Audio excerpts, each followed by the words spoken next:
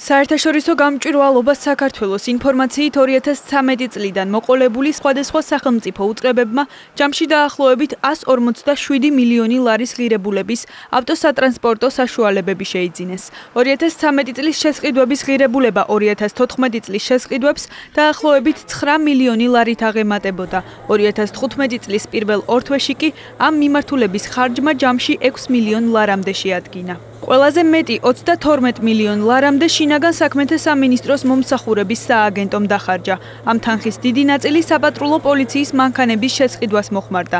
რიგით მეორე ჯანდაცვის სამინისტროა 2014 წელს გადახდილი 11 მილიონამდე ლარით. არასამთავრობო ორგანიზაციის მიერ გამოქვეყნებულ ინფორმაციას სკეპტიკურად უყურებენ იმ უწყებების წარმომადგენლები, რომლებსაც ანგარიშის მიხედვით ავტომობილებზე ყველაზე დიდი დანახარჯი აქვთ. ჯანდაცვისა და სოციალური დაცვის მინისტრი დავით სერგეენკო განმარტავს, რომ მისმა უწყებამ თანხა მხოლოდ მიზნობრივად დახარჯა და თანამშრომლებს პირადი მოხმარების მანქანები არ შეუძენიათ. იგივე პოზიცია აქვს სპორტისა და ახალგაზრდობის მინისტრს, რომელიც ჟურნალისტებთან საუბრისას ამბობს, რომ სამინისტრომ მხოლოდ ერთი მინივენი იყიდა, რომელიც კონკრეტული პროგრამისთვის იყო გათვალისწინებული.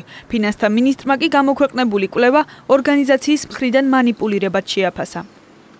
10.853.000 დაიხარჯა 180 რეანიმობილის და 3 ტექნიკური მომსახურების მანქანისათვის, რომელიც ასევე რაიონული სასწრაფო დახმარების სისტემას ემსახურება.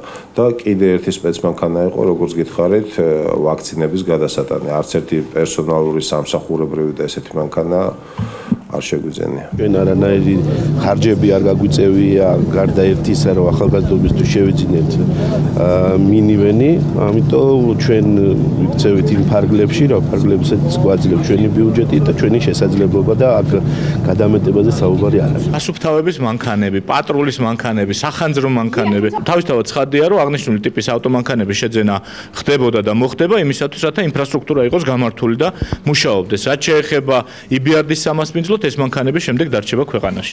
ანგარიში წარმოდგენილ დროის მონაკვეთში ავტომობილების შეძენას უარყოფენ დევნილთა და განსახლების სამინისტროში. სოზარ სუბარის თქმით, ძვირადღირებული მანქანები არ შეუძენია არც ერთ უწყებას, რომლებსაც ის ბოლო წლებში ხელმძღვანელობდა. იმავე ამბობენ თბილისის მერიაში, სადაც ავტომობილების შეძენას მკაცრად უარყოფენ. ჩემს უწყებებში, რომლებსაც მე ხელმძღვანელობდი, ყველა ავტომანქანა, რომელიც იქნა ნაყიდი, ემსახურებოდა მხოლოდ და მხოლოდ აუცილებელ საჭიროებებს. ვირადგირებული მანქანა, რომელიც იქნებოდა რაღაცა ისეთი თანამდებობის პირებისთვის გამოსადეგის, ჩემს უცხებებში არ ყოფილა შეძენილი. 2014 წლის აგვისტოდან დღემდე არც ახალი, არც ნახმარი მანქანა მერიას არ შეუძენია, არც გამგეობებისთვის არ ყოფილა შეძენილი. ამ ეტაპზე ჩვენ ვფიქრობთ, რომ იმ პირობებში, რა პირობებში დღეს საქართველო არის უახლოეს პერიოდში განახლებას შეიძლება არაფრისას არ ვაპირებ და შეძენას არაფრისას არ ვაპირებ. უწყებების მხრიდან ავტომობილების შეძენაზე დახარჯული 157 მილიონი ლარი ხელისუფლების წევრების შეფასებების მიუხედავად კვლავ რჩება საზოგადოების ყურადღების საგანი.